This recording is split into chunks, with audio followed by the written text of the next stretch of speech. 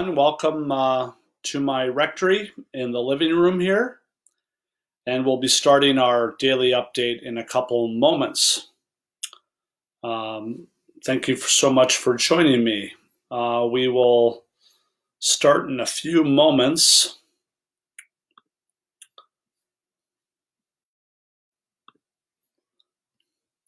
Going to get on the Four Parish page. So, welcome everyone, and um, we'll start in a few moments. So, so behind me is um, is a picture of uh, of uh, St. Joseph's Chapel in uh, at Loras College. Uh, it's where I prayed uh, every day uh, when I was chaplain at Loras. And then behind me are uh, the images of St. Francis of Assisi and St. Clare that I got when I went to Rome and uh, Italy that um, my first time over there. So um,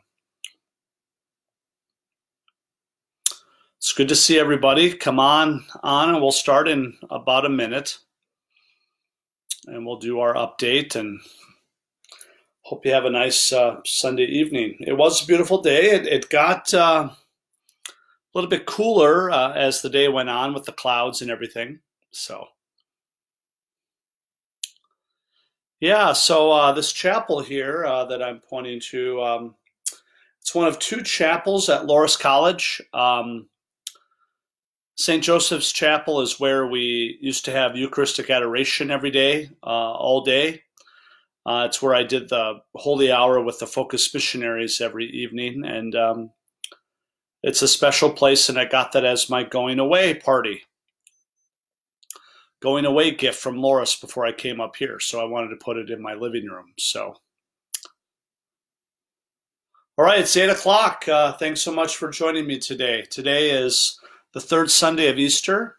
Hope everyone enjoyed their Sunday as as best as we can right now. Um, I thought I'd do the video in a different part of the house, and uh, this is the living room here. I'm on my couch. So today we had uh, Holy Mass, and then we had um, the Rosary before, and then this afternoon um, had a chance to take a nice walk, uh, a nice day, and um, this evening uh, I got to do some social distancing and had a chance um,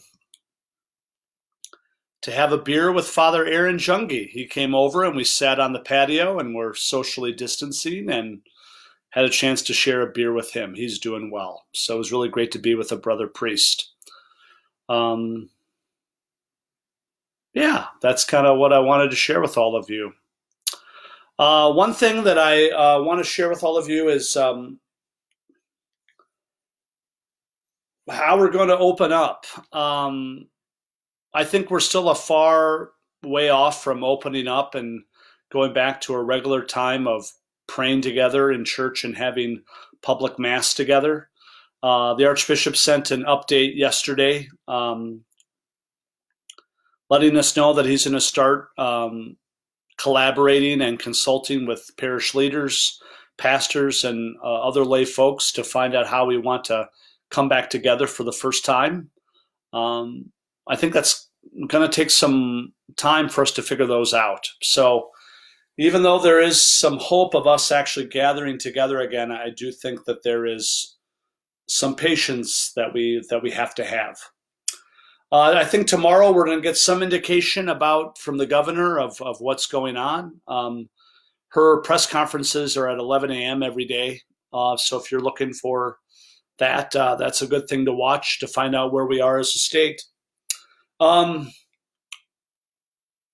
one thing that I've been studying quite a bit about is uh, the pandemic of 1918 uh, with the Spanish flu.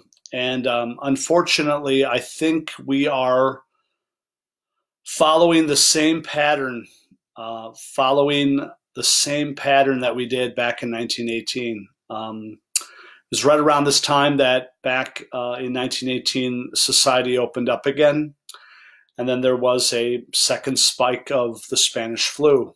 So we really have to pray for prudence and um, wisdom for our leaders.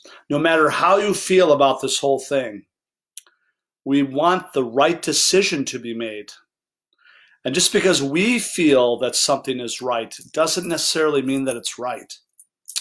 So I really think we, as good Christians and good citizens of our country, our county, need to pray for our governor and pray for all public health officials and pray that we do not open up too early uh, because there is still no treatment for the coronavirus. Um, and I was talking with Father Aaron in our hanging out on the back, and I think we really are entering into a brand new world. Um, and we just have to really realize that that um, this is the long haul, and um,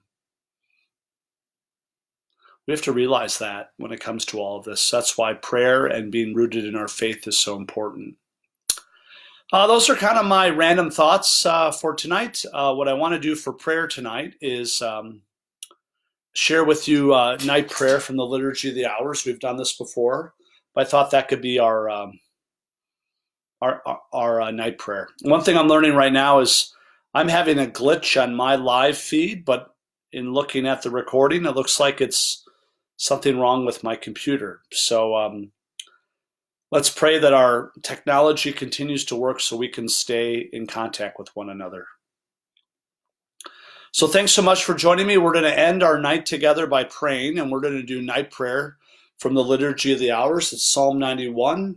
It's the same psalm every Sunday night, and may it uh, help you to commend, um, um, so we can commend ourselves um, to God's grace and protection. So, please join me for prayer. In the name of the Father, and of the Son, and of the Holy Spirit. Amen. God, come to my assistance. Lord, make haste to help me. Glory be to the Father, and to the Son, and to the Holy Spirit, as it was in the beginning, is now, and ever shall be, world without end. Amen.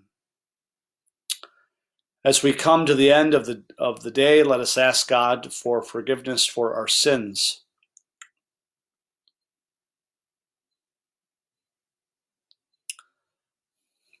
I confess to Almighty God and to you, my brothers and sisters, that I have greatly sinned in my thoughts and in my words, in what I have done and what I have failed to do, through my fault, through my fault, through my most grievous fault.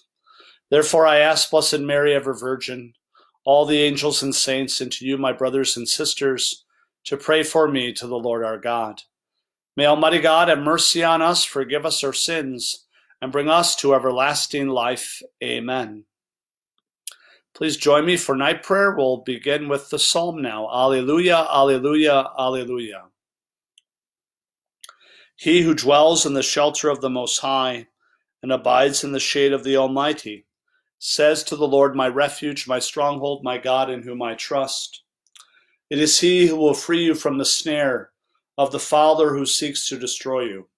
He will conceal you with his pinions, and under his wings you will find refuge. You will not fear the terror of the night, nor the arrow that flies by day, nor the plague that prowls in the darkness, nor the scourge that lays waste at noon. A thousand may fall at your side, ten thousand fall at your right. You it will never approach, his faithfulness is buckler and shield. Your eyes have only to look to see how the wicked are repaid. You have said, Lord, my refuge, and have made the Most High your dwelling. Upon you no evil shall fall no plague approach where you dwell, for you has he commanded his angels to keep you in all your ways. They shall bear you upon their hands, lest you strike your foot against a stone. On the lion and the viper you will tread, and trample the young lion and the dragon. Since he clings to me in love, I will free him, protect him, for he knows my name. When he calls, I shall answer, I am with you. I will I will save him in distress and give him glory. With length of life, with length of life I will content him, I shall let him see my saving power. Glory to the Father, and to the Son, and to the Holy Spirit, as it was in the beginning, is now, and will be forever. Amen. Alleluia, alleluia, alleluia. A reading from the book of Revelation. They shall see the Lord face to face and bear his name on their foreheads. The night shall be no more. They will need no light from lamps or the sun, for the Lord God shall give them light, and they shall reign forever. Into your hands, Lord, I commend my spirit. Alleluia, alleluia. Into your hands, Lord, I commend my spirit. Alleluia, alleluia. You have redeemed us, Lord God of truth. Alleluia, alleluia. Glory to the Father, and to the Son, and to the Holy Spirit. Into your hands, Lord, I commend my spirit. Alleluia, alleluia. Protect us, Lord, as we stay awake. Watch over us as we sleep, that awake we may keep Watch with Christ, and asleep rest in his peace. Together we pray. Lord, now let your servant go in peace. Your word has been fulfilled. My own eyes have seen the salvation which you have prepared in the sight of every people, a light to reveal you to the nations and the glory of your people, Israel. Glory to the Father, and to the Son, and to the Holy Spirit, as it was in the beginning, is now, and will be forever. Amen. Protect us, Lord, as we stay awake. Watch over us as we sleep. That awake we may keep watch with Christ and asleep rest in his peace. Alleluia. Let us pray. Lord, we have celebrated today the mystery of the rising of Christ to new life. May we now rest in your peace, safe from all that could harm us, and rise again refreshed and joyful to praise you throughout another day. We ask this through Christ our Lord. Amen. May the all powerful Lord grant us a restful night and a peaceful death. Amen. And we commend ourselves to the love and protection of the Virgin Mary as we say, Queen of heaven, rejoice, alleluia. The Son whom you merited to bear, alleluia, has risen as he said, alleluia. Pray for us to God, alleluia. Rejoice and be glad, O Virgin Mary, alleluia, for the Lord has truly risen, alleluia name of the Father and of the Son and of the Holy Spirit. Amen. I'd like to invite you to put a bookmark at Psalm 91. It's a wonderful psalm that speaks about plagues and struggles and dangers, and it's a wonderful, um, it's a wonderful psalm to pray often.